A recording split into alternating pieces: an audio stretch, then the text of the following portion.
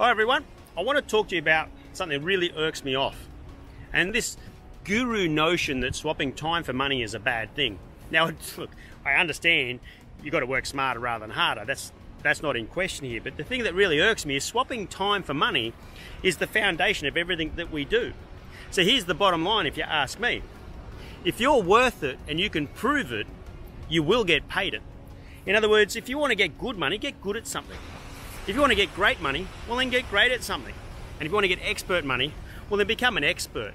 But the bottom line is, if you're worth it and you can prove it, you will get paid it, but you have to prove it. You have to prove that you're worth whatever it is that you're charging and billing and, and servicing for people.